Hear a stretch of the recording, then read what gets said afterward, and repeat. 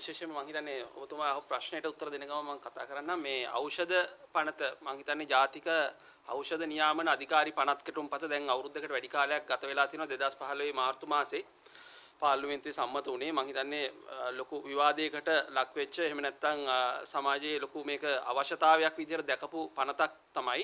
අ, පනත ක්‍රියාත්මක කරන්න යන මොහොතේදී එල්ල වෙච්ච බාධා පනත අතුරුදහන් වීම මේ වගේ කාරණා රාශියක් අපි අත්විඳා. අවසානයේදී පනත යථාර්ථයක් බවට පත් කරන්න විශේෂයෙන්ම ගරු ජනාධිපතිතුමා සෞඛ්‍ය අමාත්‍යතුමා ඇතුළේ කණ්ඩායම අ, යම් උත්සාහයක යෙදුණු බව මේ මොහොතේත් අපි සිහිපත් කරනවා. නමුත් පනත අ, මුල් අවස්ථාවේදී ක්‍රියාත්මක කිරීමේදී ඒ වගේම කියන්න ඕනේ ඒ සඳහා නිවැරදි අ, ශේෂ්ත්‍රයේ අ, පිළිගැනීමට ලක්වෙච්ච විද්වත් පිරිසක් පත් කරන්න ජනාධිපතිතුමා ඇතුළු සෞඛ්‍ය අමාත්‍යාංශයේ අමාත්‍යවරයා ඒ මොහොතේදී කටු- කටයුතු කරලා තිබුණා. කාටවත් ඇඟිල්ල දික් කරලා චෝදනාවක් ලගන්න බැරි පුද්ගලයෝ අ, මේ අධිකාරිය ඇතුළට පත් කරන්න ඕන කියන සැලකිල්ල ඒ මොහොතේ ඒ අය දක්වලා තිබුණා. ඒතර ඒ තත්ත්වයේ යටතේ අපිත් යම් අ, බලාපොරොත්තු වේ දල්වාගෙන බලාගෙන හිටියා. මේ පනත තුලින් යහපත් දෙයක් රටට වෙයි කියලා. විශේෂයෙන් මහජනතාව බලාගෙන හිටියා. එයාගේ ප්‍රධානම බලාපොරොත්තු උනේ මේ පනත ක්‍රියාත්මක වීම තුලින් තමන් අ, ස- බේත් සාප්පුවට ගිහිල්ලා එහෙම නැත්නම් ෆාමසියට ගිහිල්ලා මිලදී ගන්න ඖෂධය දැන් තියෙන මිලට වඩා අඩු මිලකට ගන්න පුළුවන් වෙයි කියලා. අනිත් පැත්තෙන් මේ ජනතාව බලාපොරොත්තු වුණා මේ ඖෂධ වඩා ගුණාත්මක ඖෂධ බවට සහතිකයක් ඇතුව අපිට මිලදී ගන්න පුළුවන් වෙයි කියලා. අද වෙනකොට ඒක සිද්ධ වෙලා තියෙනවද එහෙම නැත්නම් ඒකයි කරන්න බැරි වුණේ කියන කාරණේ සම්බන්ධයෙන් තමයි අද අපිට කතා කරන්න සිද්ධ වෙලා තියෙන්නේ මේ මොහොතේ සිද්ධ වෙමින් පවතින එක. විශේෂයෙන්ම අපි දැක්කා අ, පනත අ, ක්‍රියාත්මක වෙලා මේ අධිකාරිය පිහිටවුවට පස්සේ අමාත්‍යාංශයේ විශේෂයෙන් ඇමතිතුමා මේ පනත සක්‍රිය කරවන්න එහෙම නැත්නම් මේ අධිකාරිය තුලට නිලධාරීන් පත් කරන්න සෑහෙන කාලයක් ගත කළා.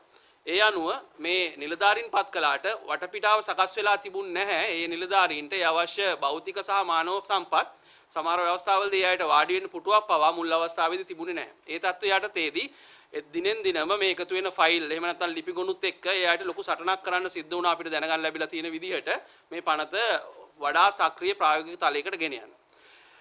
ඒ තත්ත්වය එහෙම තියෙද්දි ඇමතිතුමා සහ අපිට ජනමාධ්‍ය තුලින් දැනගන්න ලැබුණා ගිය අවු- මේ අවුරුද්දේ පෙබරවාරි මාසෙදි වගේ ඇමතිතුමා සහ මේ අධිකාරී ඉහළ පුටුවලින් නිලධාරීන් අතර ලොකු කඹෑදිල්ලක් එහෙම නැත්නම් ගැටුමක් නිර්මාණය වෙමින් පවතින බව. එහි උච්ච අවස්ථාවකට පත් වෙමින් අපි ජනමාධ්‍ය තුලින් දැක්කා මේ අධිකාරී සභාපතිතුමා සහ අ, ප්‍රධාන විධායක නිලධාරිතුමා ඉල්ලා අස්වෙන තැනට පෙබරවාරි මාස වෙනකොට මේ ප්‍රශ්නය උඩු දිව්වා.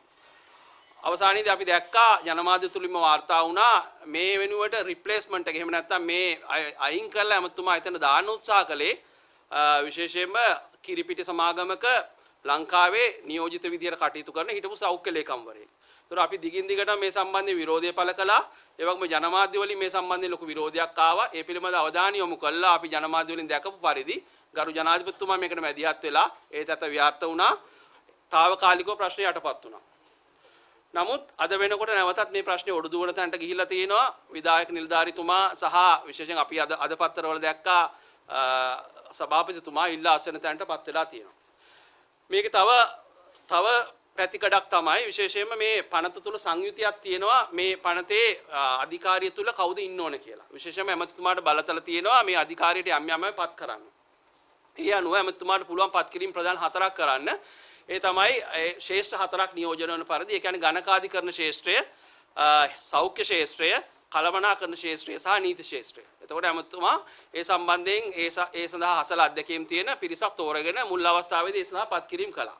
නමුත් මේ ප්‍රශ්නය මතුවෙන්න අපිට දැනගන්න ලැබිලා තියෙන විදිහට ප්‍රධානම හේතුව වුණේ මේ ටෙන්ඩර් පටිපාටිය සම්බන්ධයෙන් මතුවෙලා තියෙන ප්‍රශ්නයක්. අපි හිතන්නේ ඖෂධ මාෆියාව ගැන අපි දිගින් දිගටම කතා කරනවා මේ ඖෂධ මාෆියාවේ කේන්ද්‍රස්ථානයක දැන් ප්‍රමුඛම උච්චම තැන තමයි මේ ටෙන්ඩර්. ඒතකොට ටෙන්ඩර් වලින් තමයි මේ සේරම දේවල් සිද්ධ වෙන්නේ. එතකොට මේ ටෙන්ඩරයක් හදිසි ටෙන්ඩරයක් විදිහට ප්‍රකාශයට පත් කරනකොට ඒ හදිසි ටෙන්ඩර් ලංකාවට ඇත්තටම හදිසි අවශ්‍ය- අවශ්‍ය වෙන ඖෂධද කියන එක සම්බන්ධයෙන් තීරණය කිරීමේ බලතල තියෙන්නේ මේ ඖෂධ නියාමන අධිකාරියට. එතකොට මේ ඖෂධ නියාමන අධිකාරියට සම්පූර්ණ වගකීමක් තියෙනවා මේ ටෙන්ඩරයක් හදිසි ටෙන්ඩරයක් බවට ප්‍රකාශ කළා no objection letter එකක්. ඒ කියන්නේ මේක ප්‍රශ්නයක් නැහැ කියලා ලිපියක් නිකුත් කරන්න ඒ අයට සොයා බැලීමක් කරන්න අයිතිය තියෙනවා. එතකොට අපිට පේන විදිහට මේ ගැටුම් වලට ප්‍රධානම හේතු වුණේ මේ no objection letters.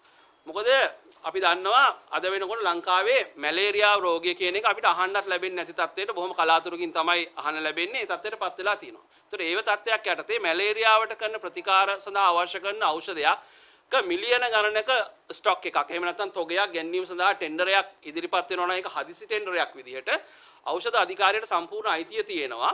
ඒ සම්බන්ධයෙන් හොයලා බලන්න මොකද මේ සම්බන්ධයෙන් ටෙක්නිකල් ෆෝකල් පොයින්ට් එක මැලේරියාව සම්බන්ධයෙන් තාක්ෂණික ඒ සම්බන්ධ උපදෙස් ලබා ගැනීම සඳහා කේන්ද්‍රස්ථානයේ තමයි මැලේරියා මර්ධන ඒකකය. මැලේරියා මර්ධන ව්‍යාපාරය. එතකොට යම්කිසි අවස්ථාවකදී මේක සැකයක් තියෙනවා නම් මේ ඖෂධ ගෙන්නන්න ඕනද කියලා ඖෂධ අධිකාරිය කළ යුතු දේ තමයි නිවැරදි දේ තමයි මේ මැලේරියා මර්ධන එකකින් අහලා බලන්න පුළුවන් මෙච්චර ඖෂධ තෝගයක් ලංකාවට ඕනද කියලා. ඒ අවස්ථාවේදී මැලේරියා මර්ධනය එකක කිව්වොත් නෑ අපිට මේ ඖෂධ ඕනේ නැහැයි කියලා ඒ නෝ ඔබ්ජෙක්ෂන් ලෙටර් එක ඉෂුව කරන එක ප්‍රතික්ෂේප කිරීමේ සම්පූර්ණ අයිතිය අපි හිතන විදිහට ඖෂධ අධිකාරියට තියෙන්න ඕන. ඒතර ඒක ඇමතිතුමා ඒක ඕවර්රූල් කරන්න ඕන. එහෙම ඒකට පිටින් ගිහිල්ලා කටයුතු කරන්න හදනවා නම් එතන අනිවාර්යෙන් ගැටුමක් නිර්මාණය වෙනවා. ඒ වගේ ඕනතරම් උදාහරණ අපිට දෙන්න පුළුවන් මේ ඖෂධ ගෙන්වීම සම්බන්ධයෙන්. ඒතකොට එතන ඇතුලේ මොකක්ද උනේ කියන එක ඇත්තටම ඇමතිතුමා ඇතුළු ඒ ටෙන්ඩර් කැඳවපු නිලධාරීන්ගේ විමසලා දැනගන්න ඕන.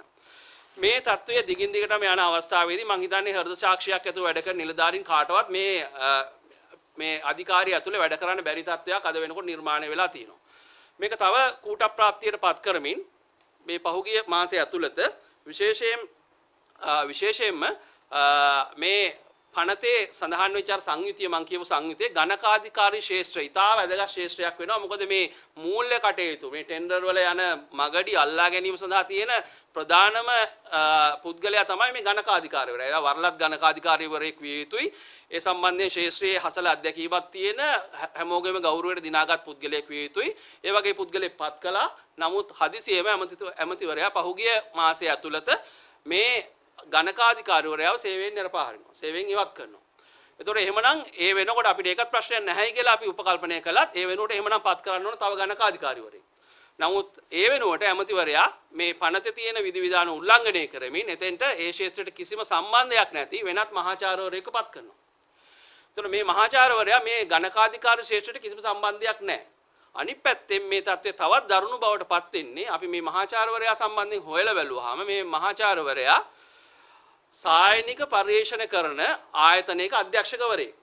එතකොට මේ සායනික පර්යේෂණ කරන මේ ආයතනයේ වෙබ් අඩවියට පිවිසිලා තමුන්නාසලා බැලුවොත් එහෙම රෙමෙඩියම් 1 කියලා රක්කම් මේ සමාගම මේ වෙබ් අඩවියට පිවිසිලා බැලුවොත් ඒ වෙබ් අඩවි බොහොම පැහැදිලිව තියෙනවා. ඒ අයගේ ප්‍රමුඛම කාර්යභාරයක් තමයි. ඒ අයට බොහොම කීර්තිමත් ඉතිහාසයක් තියෙනවා කියලා ඒ අයම කියනවා. බහුජාතික ඖෂධ සමාගම් සමග ගනුදෙනු කරන්න.